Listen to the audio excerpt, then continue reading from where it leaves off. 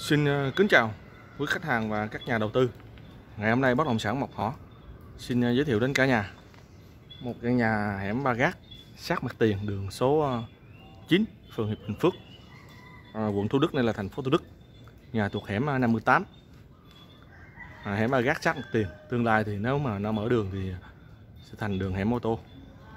Đường trước đất của mình hiện tại nó là đường 3 m 3 m rưỡi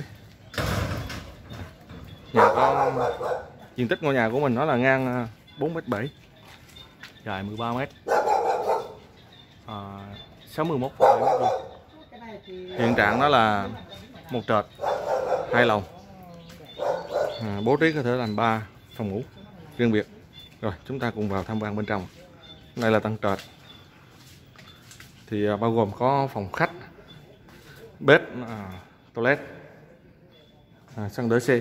Với diện tích rộng như thế này thì có thể là không gian tầng trệt rất là rộng có thể là làm phòng khách ở đây hoặc là chuyển phòng khách lên à, tầng lửng ở trên hoặc là bố trí ở trên thành một cái phòng ngủ riêng biệt tùy vào cái nhu cầu sử dụng của à, gia đình.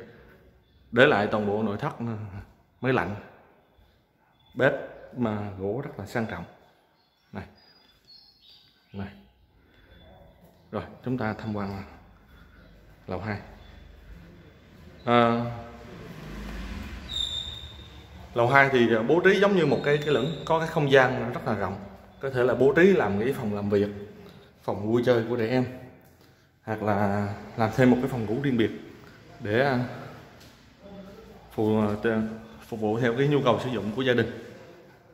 Từ vị trí ngôi nhà của mình nó sát với lại cổng sau của khu đô thị Vạn Phúc về tới à, cổng xe khu đô thì bằng Phúc sau này nó sẽ là trường cấp 2 trung học cơ sở. Thì Bình Phước là 150 m ra mặt tiền đường số 9 30 m ra mặt tiền đường số à, đường quốc lộ 13 là 200 m thuận lợi ờ, di chuyển qua các cái khu vực uh, trung tâm. Chợ Hiệp Bình và lại khu đô thị Vạn Phúc. Bến xe miền Đông. Chợ Bình Triệu cầu Bình Triệu đại học lực nhà thờ Phan Tư Ma. Từ ờ, uh, 5 đến phút ờ, 5 đến 10 phút di chuyển về lại Hiệp Bình khu dân cư Hồng Long khu dân cư Sông Đà. Từ 3 đến 5 phút di chuyển. Quý khách hàng và các nhà đầu tư quan tâm.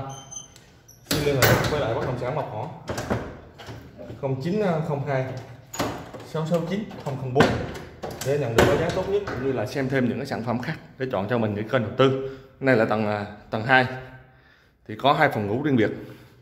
Có view ban công. Rồi. Xin hẹn gặp lại quý khách hàng và các nhà đầu tư trong những cái video clip sản phẩm tiếp theo ạ. À, xin chào tạm biệt và hẹn gặp lại.